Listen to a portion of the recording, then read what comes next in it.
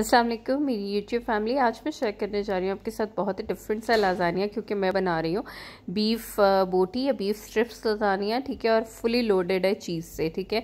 बहुत ही सिंपल तरीके से बनाया जाएगा। सबसे पहले आपने लेना है बेक पॉलर लाजानिया का एक पैकेट ठीक है और इस तरीके से आपने शीट्स जो है, इनकी बॉईल कर लेनी है, ठीक है? Five to six minutes six to seven minutes भी लग सकते हैं बॉयलिंग में, ठीक है? एक बेकिंग डिश लेनी है, जिसमें आप लजानिया बनाएँगे। साथ में आपने क्या लेना है? बीफ ठीक है? अच्छा मिन्स अमूमन यूज़ होता है लजानिया में, लेकिन मैं स्ट्रिप्स यूज़ कर रही हूँ, ठीक है? स्ट्रिप्स पतली पतली काट लीजिए, बोटी जो होती है वो थोड़ी सी मोटी होती है तो मैं स्ट्रिप्स में काट रही हूँ, ठीक है? और ये मैंने लिया तकरीबन तीन पाव, ठीक है? तीन पाव से थोड़ा ज़्यादा ही है। वन के जी से से थोड़ा कम है, तीन पाउंड से ज़्यादा। फिर मैंने लेना है हरा प्याज और साथ में थोड़ा सा दूसरा प्याज है, तकरीबन एक कप कर लें। साथ में मैंने लिया है two tablespoon two and half tablespoon of लहसुन paste two two tablespoon of मैंने लिया है मैदा। और साथ में मैं ले रही हूँ एक बड़ा वाला कप दूध का, बड़ा वाला कप, ठीक है? यानी छोटा कप नहीं, बड़ा कप। साथ में दो से तीन टमाटर और उनको इस तरीके से मैंने ब्लेंड कर लिया है साथ में मैंने ऑलिव्स लिए हैं ड्रेसिंग के लिए।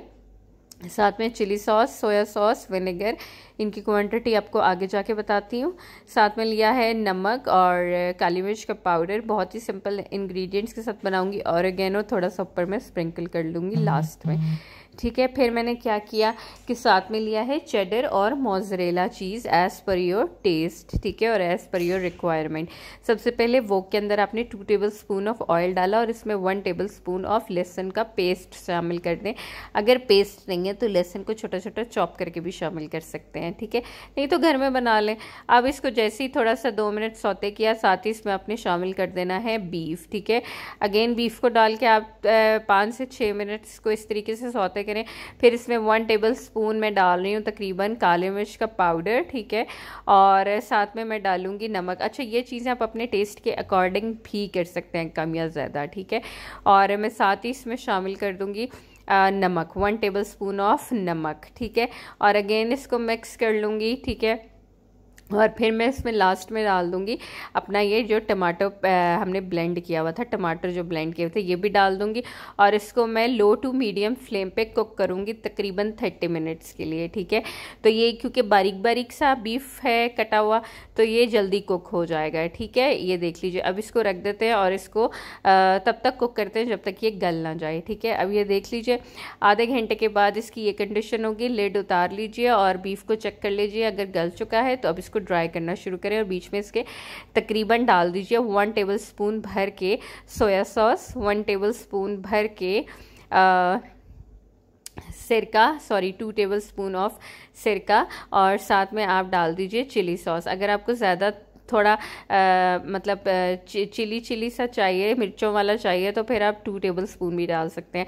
बट मैंने नहीं डाला ठीक है? अब लास्ट स्टेज में पुनहाई के वक्त आपने इसमें ये प्याज शामिल कर देना है ठीक है? हरी प्याज ना हो तो आम जो आ, घर में हम प्याज यूज़ करते हैं आप वो भी डाल सकते हैं। जैसे ये फ्राई हो जाए ठीक है? तो आप इसको साइड पर रख दीजिए। अब हम बना लेते हैं वाइट सॉस सबसे पहले आपने two tablespoon of butter ले लेना है। अगर बटर नहीं है तो ऑयल ले लीजिए और इसमें वन टेबल स्पून ऑफ़ लहसन डालकर लहसुन का पेस्ट डालकर इस तरीके से सौते कर लीजिए, ठीक है?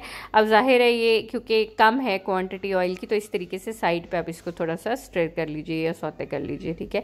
इस तरीके से ये देख लीजिए, जैसे मैं करी हूँ। ये आज की टिप थी कि ऑयल कम हो तो इस तरीके से कॉर्नर में उसको एडजस्ट कर लिया करें। अब जैसे ही आपका ये गार्लिक का अरोमा आना शुरू हो जाए, आपने इसमें टू टेबल स्पून ऑफ़ मैदा डाल के इस तरीके से इसको मिक्स करना है, ठीक है? और इसको भी आपने दो मिनट करना है। मैदा जलना नहीं चाहिए, ठीक है? हम बनाने जा रहे हैं वाइट सॉस ठीक है? With the help of a finger इसको उतारते रहें। और मैदे की एक ख़ास किस्म की ना फ्रेगनेंस आना शुरू हो जाती है। जैसे वो आपको फ्रेगनेंस आना शुरू हो जाए, आपने क्या शामिल कर देना है? हल्के हल्के करके दूध, ठीक है? और दूध डाल के फिर अपने इसको कीप स्टेरिंग पे रखना है, ठीक है?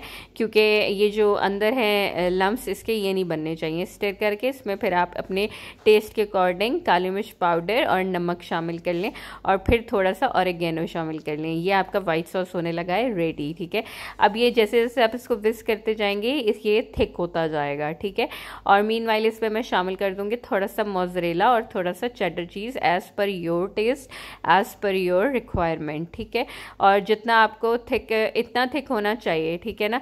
ये देख लें, ये अब इसकी देख लें कि चीज़ की कितनी मज़े की इसमें लेयर्स बनना शुरू हो गए और ये थिक भी होना शुरू हो गया ठीक है? तो इसको थोड़ा सा और कुक मज़ीद कर लेते हैं। अब इसकी देखें थिकनेस इसकी ये वाली थिकनेस आपको चाहिए। अब ये रेडी हो गया है, ठीक है? सारी चीज़ें आपने अपने पास रख लेनी है। सबसे पहले डिश में आपने नीचे जो है वाइट सॉस थोड़ा सा लगा लेना है, ठीक है? ताकि जो शीट्स हैं वो जले ना। अब नीचे आपने इस तरीके से एक लेयर लगानी है थ्री शीट्स की और लजानिया की पहली लेयर इसको बोलेंगे, ठीक है? ये देख लीजिए, इस तरीके से आपने इसको सेट कर लेना है, ठीक है? अब आपने क्या करना है कि शीट के ऊपर हल्का सा चाहें तो पहले वाइट सॉस लगा दें ये मेरी तरह ठीक है? और अब इसके ऊपर आप अपने टेस्ट के अकॉर्डिंग ये सारा जो है आ, बीफ के स्ट्रिप्स ये डालना शुरू कर दें। लजानिया अमूमन मिन्स में कीमे में बनाया जाता है लेकिन मैंने ये थोड़ा सा डिफरेंट टेस्ट दिया है ये कि ये ना बोटी वाला फ्लेवर आएगा तो ये ट्राई करें इसको। अब रेसिपीज़ जो होती हैं इनको ट्राई करना चाहिए डिफरेंट डिफरेंट तरीके से ठीक है ना? कुकिंग जो है वो आप सेल्फ क्रिएशन होनी चाहिए मेरा ख्याल है। तो इस तरीके से अब ऊपर मैंने वाइट सॉस डाल दिया। आप चाहें तो इस स्टेज पे चीज़ भी शामिल कर सकते हैं। मैं नहीं कर रही हूँ, ठीक है? और अब मैं इसके ऊपर अगेन मैंने शीट्स लगा दी हैं, ठीक है? इस प्रोसेस को मैं थ्री टाइम्स रिपीट करूँगी, ठीक है ना? मेरे पास यानी तीन दफ़ा ये शीट्स की लेयरिंग होगी, ठीक है? इसी तरीके से फिर ऊपर मैं बोटियाँ डालूँगी और यानी जो ये स्ट्रिप्स कटे हुए हैं, ये डालूँगी फिर अपने टेस्ट के अकॉर्डिंग ठीक है? ये देख लीजिए। फिर मैं इसके ऊपर वाइट सॉस लगाऊँगी। अगर अभी तक मेरा चैनल आपने सब्सक्राइब नहीं किया तो मेरे चैनल को सब्सक्राइब कर लीजिए। बहुत अच्छी वीडियोस ऑलरेडी अपलोडेड हैं और बहुत अच्छी अपलोड होने वाली हैं। तो प्लीज़ चैनल को सब्सक्राइब की करें, क्योंकि ये आपकी तरफ़ से एक अप्रिसिएशन होती है और इससे हमारा जो है ब्लड थोड़ा बूस्ट होता है। अब इसके ऊपर फाइनली लास्ट में आप अपने टेस्ट के अकॉर्डिंग चेडर और मोजरेला चीज़ शामिल कर लीजिए। जितनी पसंद है उतनी शामिल कर लें, ज़्यादा पसंद है, ज़्यादा शामिल कर लें, ठीक है? ये देख लीजिए, मैंने तो अच्छी खासी डाल दी है, ठीक है? और लास्ट में इसके ऊपर मैं ड्रिजल करने लगी हूँ ये ऑलिव्स ठीक है? आप चाहें शिमला मिर्च भी कर सकते हैं और फिर ऑरिगेनो डाल के हम इसको ऑलरेडी प्री हीटेड अवन में बेक कर लेंगे, ठीक है? ये देख लीजिए, तकरीबन 10 से 15 मिनट में आपका लजानिया रेडी है फिर